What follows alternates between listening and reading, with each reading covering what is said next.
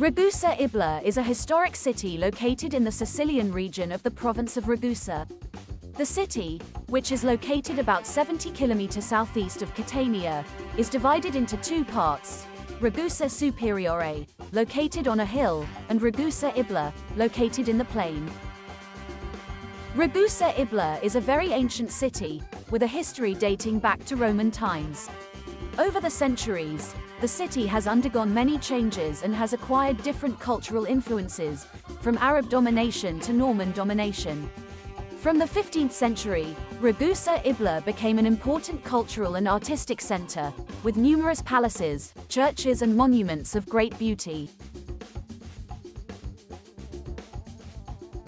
Today, Ragusa Ibla is one of the most important tourist destinations in Sicily, with many attractions to visit, such as the Cathedral of San Giorgio, the Palazzo Cosentini and the Teatro Massimo.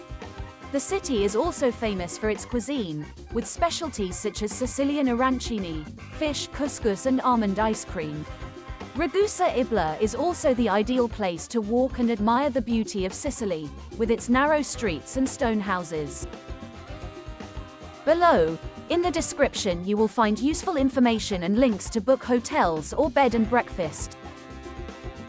If you have any doubts or questions, Write in the comments below and we will answer you as soon as possible. Help us grow by liking and subscribing to our channel. Thank you and see you at the next video.